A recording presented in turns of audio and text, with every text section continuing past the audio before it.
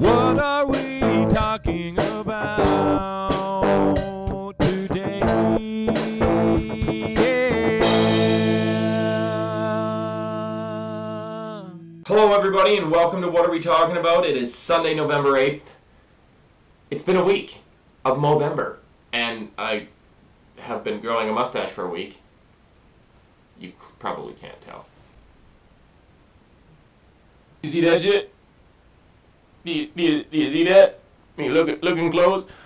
Look at you, see that? Technically, there's a mustache there. Come on, guys. So, Movember has been going uh, pretty good. I've raised already $40. I know that's not an incredible amount, but it's better than zero.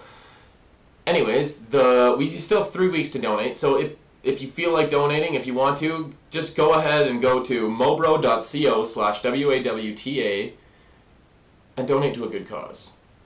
Uh, like I said earlier on Facebook, this earlier this week on Facebook, if you want to donate but you feel like you don't have enough money, donate whatever amount you feel like. If you feel like a dollar is not enough, it's enough.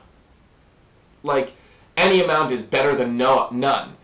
But I'm not going to try and pressure you into it. If you feel like donating, go ahead and donate. And if you did donate, thanks. I'll update you again on the progress in uh, another week. That's it for me on this week of Movember.